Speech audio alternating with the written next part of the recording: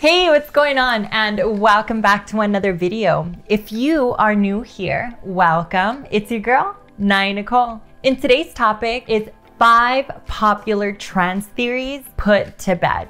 Whether you think all trans have a penis, we trick you into having sex with us, or to be trans is a choice, stick around for the answer to this and more. All right, so let's get into it.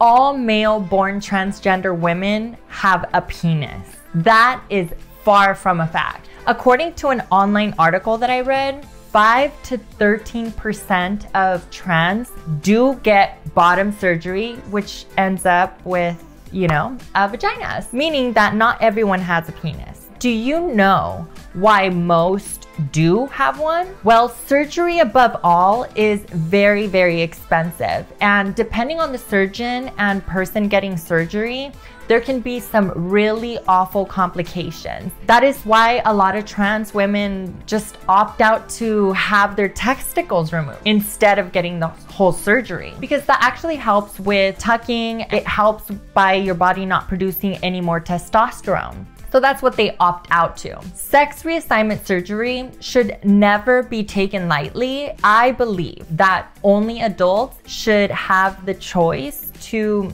get SRS. SRS should just never be done on a child. I think that's something that an adults should consider very, very, very much because at the end of the day, it is irreversible. You cannot go back to what you had before. I think SRS is one of those things that as far as children go, and I've seen a lot of videos online that have been circulating, they say if a kid has gynecomastia and all of this stuff, like why would you allow a kid that has that to, that doesn't want boobs to like get the surgeries and like all these other surgeries that may seem like it can compare to SRS. I myself had the surgery 12 years ago.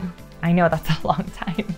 I've never had a complication, any revisions or regrets. Thanks to Dr. Chettawut. If he's still practicing, girls, get your SRS from Dr. Chettawut in Thailand, Bangkok.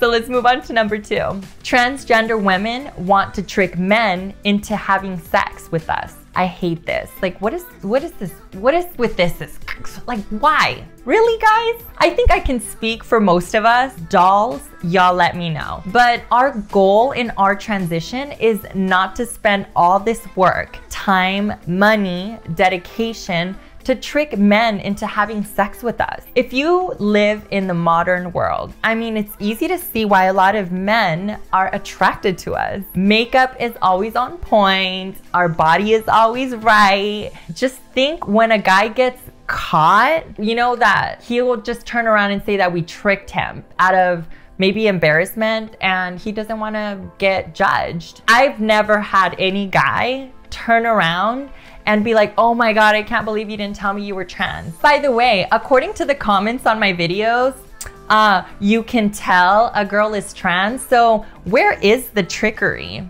Get to know your partner's people. Number three, transgenders need to tell everyone that they are trans. I hate this. Like, really? If you don't want to date or have sex or even be friends with a trans girl, every girl that you meet, make sure to ask if she's trans then and tell her your stance on trans women. I personally had a guy tell me his stance while texting and I never went on a date with him. I also have had someone speak negatively of trans women around me, not knowing that I was trans, and I just distanced myself from them without letting them know why. I think it is your responsibility to get to know someone before going on a date with them. If it bothers you that much to go on a date with a trans person, then, you know, speak up.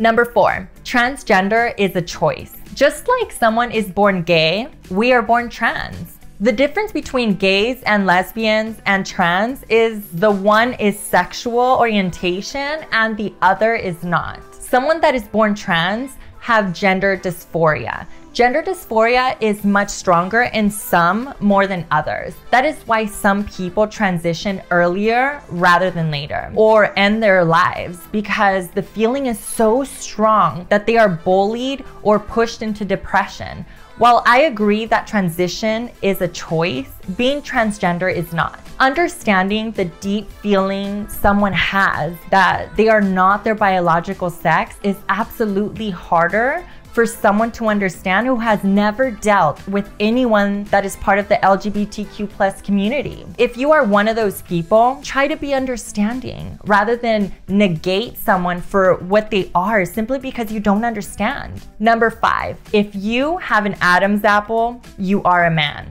Like this? I mean, I don't have one. Like this? Like this?